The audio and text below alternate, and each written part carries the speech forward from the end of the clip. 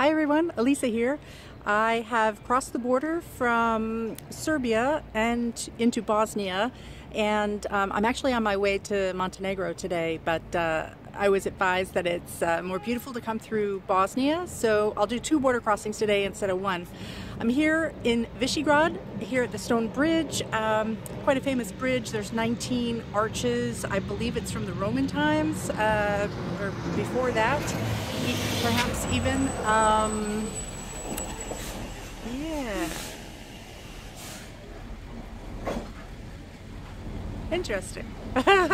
there's a uh, there's a truck, a logging truck that just stopped and picked up the gal that I thought was waiting for a bus. But, so that's part of the fun of traveling somewhere you don't know the customs and stuff. Maybe she just stuck her thumb out and she's hitchhiking. I don't know. Anyway, I uh, thought I would show you a little bit of the background here.